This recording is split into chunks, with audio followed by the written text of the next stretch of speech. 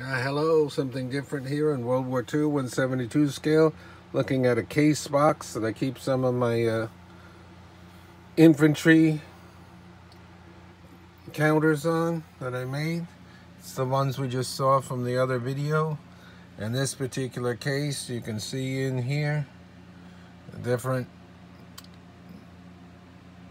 squads. Usually there's three riflemen and then we have a machine gun and a leader laying down. Got another machine gun and a hand grenade man. You see they're all slightly different bases, slightly different uh, additions to the terrain. Another hand grenade thrower, leader. Some of them I did, this is one of the earliest ones I did, so I didn't even paint some of them in. Just some accents on it go. There's a leader by himself. I think that one might have been a, a metal. This one's a metal one. You can see by the wavy of the gun. Let's see if we can get these back in here.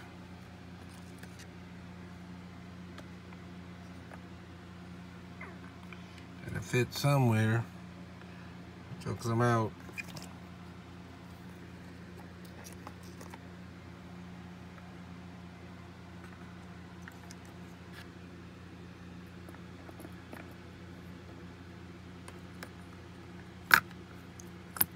There we go. Got this one marked for US. It's this kind of things. They just come with dividers and strips. You put them in there as however you want. Got lots of cases. And then for the troops, I have, uh, this is the basic troops, not the heavy weapons, no bazookas or mortars or other things in this one for the U.S. Then there's a U.S. one done up on rubble. There's a US one done up on uh, snow troops. So we have them for different varieties. The rubble is the city to match this kind of a base. So that's uh, how it keeps and stores some of my infantry, 172 scale World War II. Till next time, thanks for liking and subscribing. Thank you.